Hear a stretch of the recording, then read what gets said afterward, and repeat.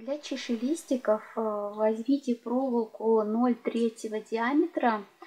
Э, желательно в цвет э, бисера зеленый, но у меня, к сожалению, такого цвета нету. Я использую обычную серую, стандартную. Вот. Отрежьте от катушки где-то сантиметров 40, думаю, будет достаточно. И наберите на проволочку две бисеринки или две рубки. Проволоку складываем вдвое, пополам, сравниваем концы. Посерединке оставляем одну бисеринку, одну бисеринку отставляем. И свободным концом проволоки, где бисеринка у нас в свободном полете, так скажем, проходим через первую бисеринку в обратном направлении. Вот так. И затягиваем так, чтобы вот эта свободная бисеринка оказалась посередине и два конца а, проволоки были на одном уровне. Вот так получиться должно. Дальше на один из концов проволоки нанизываем бисер длиной 2 сантиметра, а на другой конец проволоки нанизываем 2 сантиметра плюс одна бисеринка или плюс одна еще одна рубка. Вот так получается. Теперь там, где у нас 2 сантиметра бисера на одной из сторон проволоки, этим концом мы проходим через одну бисеринку, которая была нанизана на другом конце.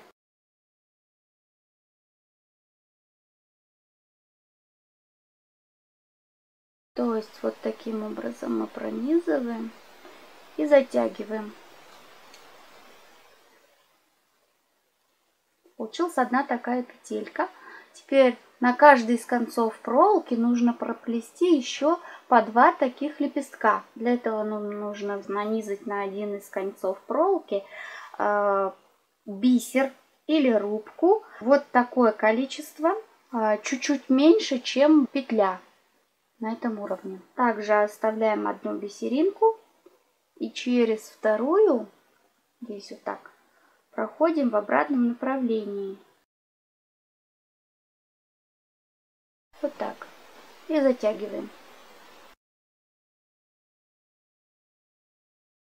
Набираем еще небольшое количество бисера. Чуть меньше нужно оставить, чем на предыдущей стороне свободный конец а, провести через последнюю бисеринку у основания. Вот так, в обратном направлении.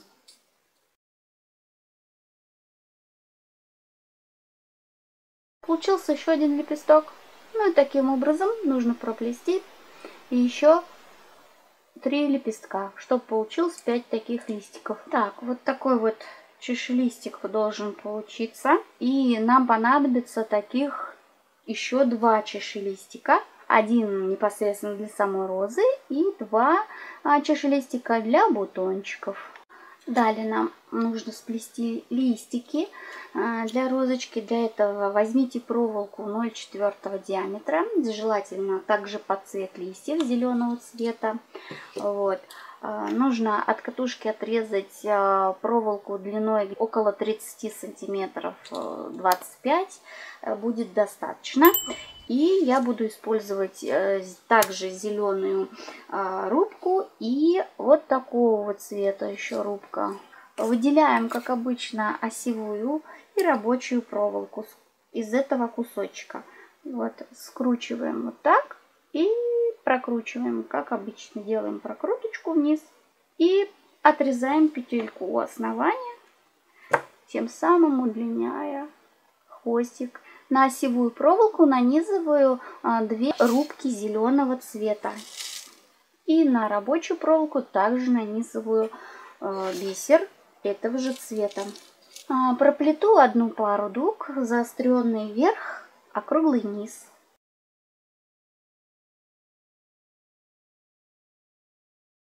Продолжу плести вторую пару дуг этим же бисером. Так. Оставшийся бисер убираю и набираю светлый цвет рубки и закончу вторую пару дуг.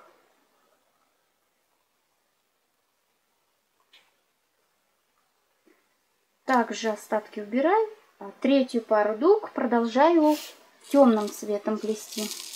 Так. Лишнее убираю. И также эту сторону продолжаю плести светлым оттенком. Заканчиваю третью пару дуг.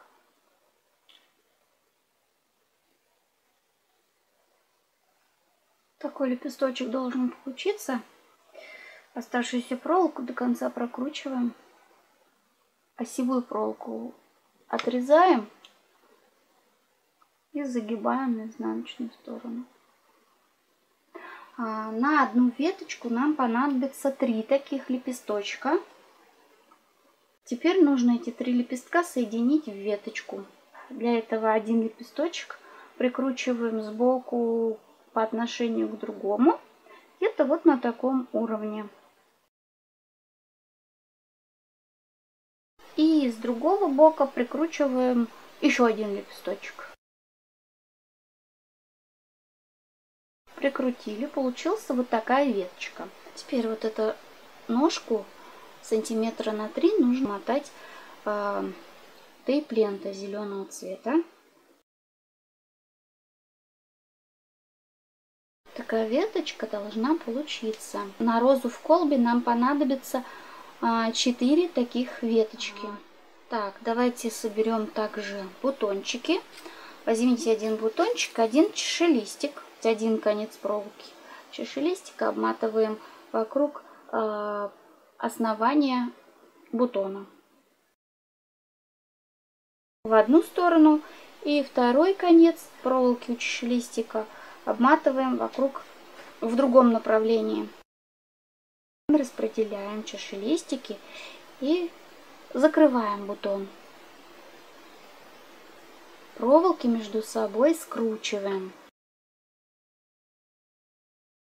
И также где-то на сантиметра два скроем ножку тейп-лентой.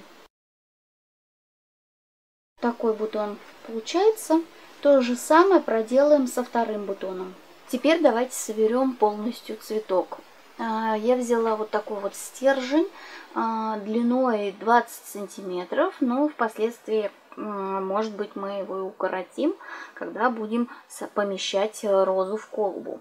Вот. Берем стержень и а, берем розу и слегка примотаем к стержню. Два-три оборота не до конца. Проволочку потом обрежем. Теперь вот это место нужно а, замотать тейп-лентой. Так, вот эти проволочки а, от розы лишние уберем, чтобы а, ножка была не такая толстая и проволока на фоне не выделялась прокрутим до тех пор, где заканчивается проволока. А то, что здесь просвечивает проволока, ничего страшного. Дальше все равно нам нужно присоединить шлистики. Шлистики присоединяем точно так же, как и у бутона.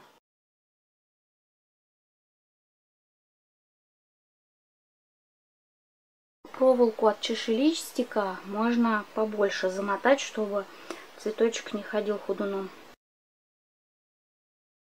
Лишнюю проволочку также удаляем. Теперь дальше а, возьмите прям побольше тейп-ленты. Сначала маскируем а, вот эту проволоку от чешелистика.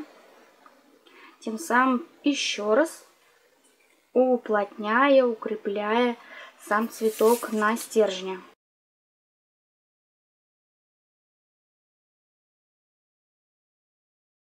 Замотаем здесь где-то сантиметра полтора. Дальше бутончики и сами листики. А, вот эту проволоку нам нужно лишнюю убрать, потому что она будет утолщать ствол цветка.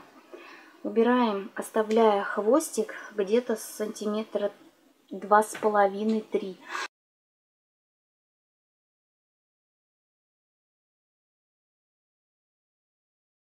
Головку немножко сгибаем. И в этом месте, в этом месте прям вплотную присоединяем э, листики. Вот так. Прям не бойтесь, пусть она прям поплотнее будет сидеть. Зато она хорошо залезет в колбу и не, не деформируется.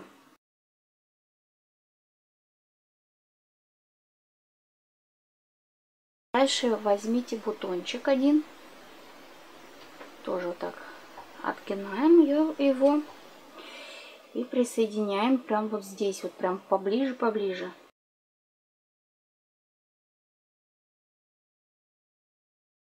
Немножко промотали, спустились вниз. Далее сажаем еще одну веточку. А, расстояние между э, эту веточку сажаем посередине стержня между бутоном и еще одной веточки, а, чтобы он смотрел на нас.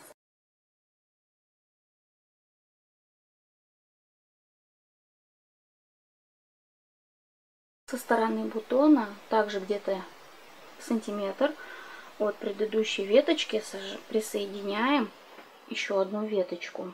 И старайтесь так, чтобы она была более плотно присоединена к стволу, к стержню. Каждая веточка, каждый бутон оставляя здесь где-то 0,8, даже меньше сантиметра. Это очень важно при посадке в колбу.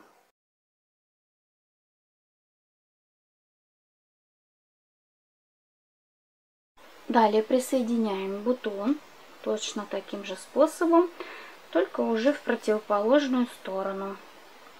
Где-то вот на этом уровне.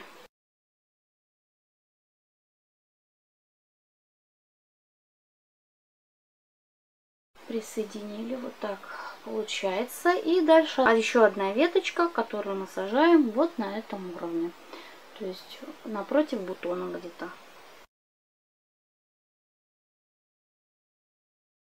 обматываем ножку до конца. Ну, вот такая роза получается. Кончик розочки я изогнула в виде петельки.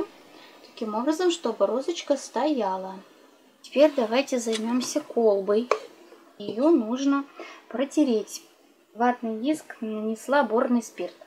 Можно любой другой спирт. И изнутри нужно ее хорошенько протереть.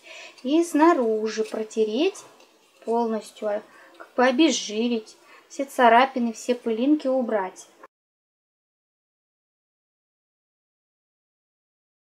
Подставку тоже протрем. И вытрем бумажным полотенцем, чтобы она блестела. И особенно изнутри протерли, даже ничего страшного, если вы здесь еще полапаете, потом это все равно протрется. А, нужно, значит, расположить розу а, ровно посередине, вот так в центре. Для чего мы делали вот эту вот и петельку. Это будет опорой. Вот. А, листики все поднимите, расправьте так, как вы хотели бы видеть свою работу в колбе, уже готовую можно примерить вот таким образом. То есть, смотрите, у меня немножко задевают листики. У меня колба немножечко задевает э, края листьев, чешелистиков, деформирует. Поэтому я немножечко их вот так вот загибаю, чтобы стараюсь, чтобы стенки все-таки меньше касались э, цветка розочка стоит. Я нашла центр тяжести, чтобы она ровно стояла. Вот, ее теперь нужно приклеить. Я клеить буду ее вот на такой супер клей, но в принципе можно и горячим пистолетом ее приклеить. Прям заливаю здесь погуще. Ну, на горячий, конечно, пистолет было бы немножечко попроще, но у меня закончились стержни клеевые. Так что я клею на то, что у меня есть дома. Вот находим середину чтобы цветок ровно посередине находился. Розочку приклеила я. И вот сюда приклеила еще искусственный мох. Вот. Ну, в принципе, здесь можно и сизаль приклеить, э, можно задекорировать какими-нибудь камушками. Ну, то есть все, что у вас будет под рукой. Теперь я убедилась, что все у меня в порядке. И ответственный момент. Накрываем колбой розу.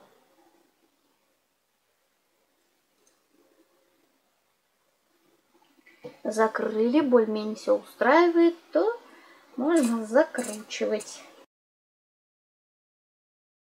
Еще раз можно ее протереть от э, пальцев. Ну вот, друзья, такая работа у меня получилась. К этой розочке я сделала еще одну. Делала их в подарок.